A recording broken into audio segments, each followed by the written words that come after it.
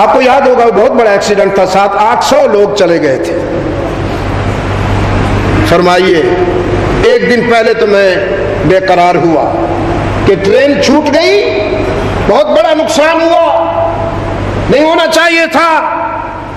मैं इस मामले में बड़ा हसास हूँ, जहाँ हाँ कर देता हूँ, वहाँ पहुँचता हूँ, चाहे तूफ़ान हो, बारिश हो, कुछ भी हो, लेकिन अपनी हाँ को निभाता हूँ।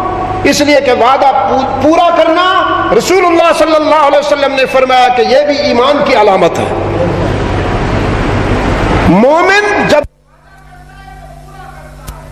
बनता है तो खयानत नहीं करता।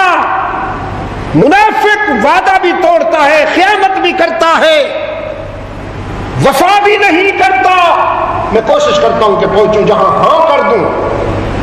बहुत सोच समझ कर हाँ करता हूँ, लेकिन कर दू तो पहुँचता हूँ। बहुत परेशान हुआ था एक दिन पहले, लेकिन जब अखबार आया और अखबार की खबर पड़ी तो आप खुद सोचें कि उस वक्त मेरे एहसास का आलम क्या था।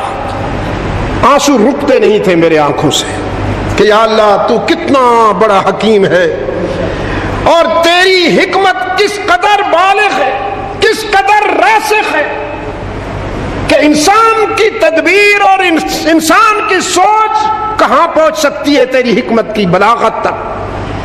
कल अगर मैं भी चला जाता, ठीक वक्त पर स्टेशन पहुँच जाता तो आज तो मैं जहानी बन चुका होता।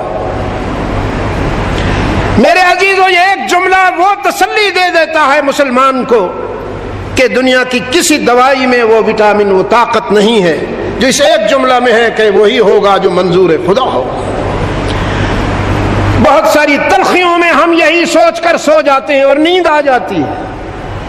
वही होगा जो मंजूर है, खुदा होगा।